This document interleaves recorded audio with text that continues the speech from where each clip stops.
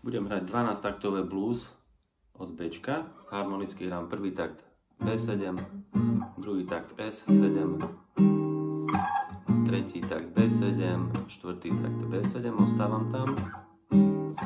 5. 6. bude S7, 7. 8. B7, 9. F7, 10. S7, 11. B7 a posledný akord, posledný tak F7. Budem improvizovať na backing track a používať budem stupnicu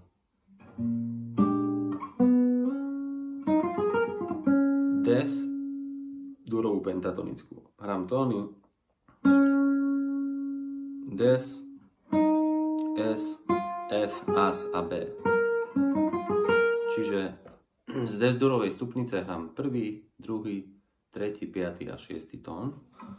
No a dieťa môže napríklad po učiteľovi opakovať frázy, ktoré zahrá. A teraz dieťa zopakuje to isté, že alebo učiteľ si dá zas jeden tón som zahral a dieťa môže zopakovať aby sa naučilo frázovať. A dieťa zopakuje. Alebo si dám, že... A dieťa môže zopakovať, počká si kľudne a zopakuje to. Keď chceme, aby sa to trošku pohlo nejak melodicky, tak okrem tej pentatonickej stupnice vieme hrať blúzovú stupnicu, Blúzová stupnica nám vznikne, keď zahráme medzi, čiže hráme intervalovo 1, 2, 3, 5, 6 z desdurovej stupnice. No a keď medzi druhý a tretí tón dám molovú terciu, tak to je blúzový tón, ktorý mi robí melodické napätie, hej. Nemôžem na ňom zastať, iba cez neho prejdem cez ten tón.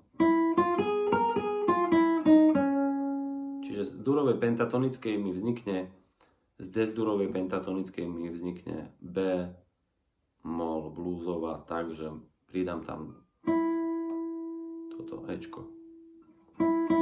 Poďme si to skúsiť, že ak to bude znieť. Čiže použijem ten tón iba blúzový ako prechodný, lebo mi robí napätie. Zahral som ho, ale nezastal som na ňom. dieťa tiež môže opakovať. A začnem tým bluesovým teraz, že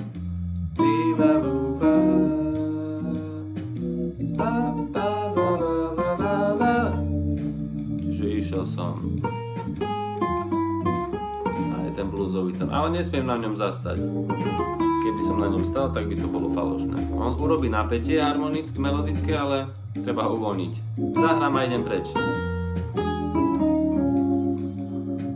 najlepšie je používať ten bluesový tón tak, že keď ho zahrám a chcem ísť niečo iné zahrať, tak zahrám stále po ňom poltón z hora a niečo hocičo, alebo zahrám ho a poltón z dola a potom hocičo. Čiže nemôže byť z blúzového tónu veľký skok nejaký na iný tón. Iba z blúzového môžem ísť tu a potom hoci čo iné, alebo poltón nižšie a hoci čo iné. A tiež to znie veľmi dobré tá blúzová stupnica. Dám to ešte raz.